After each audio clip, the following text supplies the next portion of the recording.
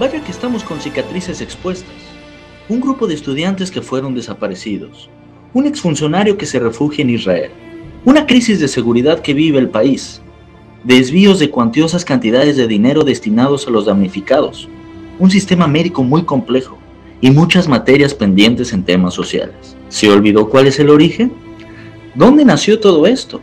¿Quién promueve este tipo de movimientos? Sin restar la legítima búsqueda de los muchachos desaparecidos, el reclamo de medicamentos, la seguridad de muchas ciudades. Lo cierto es que el ejército no debe de ser tratado así, y vaya que se han visto prudentes y respetuosos. Si hay uno o varios militares inmiscuidos en hechos ilícitos, no es para marcar a los miles de mexicanos que están en dicha institución castrense y generalizar. A varios se les olvida que, además de ser disciplinados, cumplen las órdenes a cabalidad, las disposiciones del comandante supremo, nuestro presidente Andrés Manuel López Obrador. Y además de cumplir con el tema de seguridad, son los que salen a darlo todo con la Marina Armada de México, en los desastres naturales. Vale recordar que el plan DN3 es reconocido en el mundo por eficiente y expedito.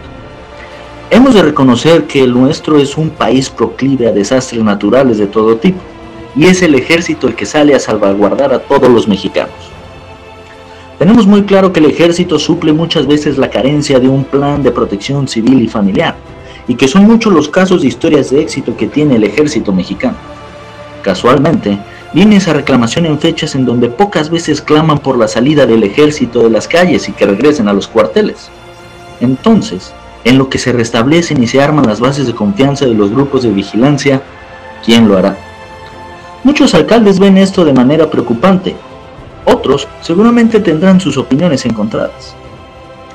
Lejos de toda la parafernalía política del tema, hay mucha desinformación al respecto, y quien podrá hacer la consulta es el árbitro vendido que manipula las elecciones, o la sociedad civil, que es la que paga los sueldos de todos los funcionarios.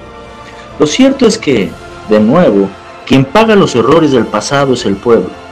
No es fácil cambiar una historia en cuatro años, pero sí es importante darle continuidad. Y aunque muchos grupos a garras y dientes insisten en seguir provocando malas situaciones, el proyecto del presidente va adelante.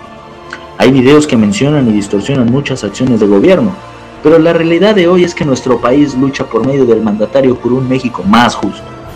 Qué difícil papel el de nuestro líder, pero apoyándolo y con mejor información, seguro vamos a apoyar a millones de mexicanos. La continuidad de este proyecto transeccional con el abanderado que el pueblo elige. En México hay Secretaría de la Defensa Nacional sólida, honrada y con un enfoque social, contrario que lo que grupos opositores al presidente y gobierno quisieran.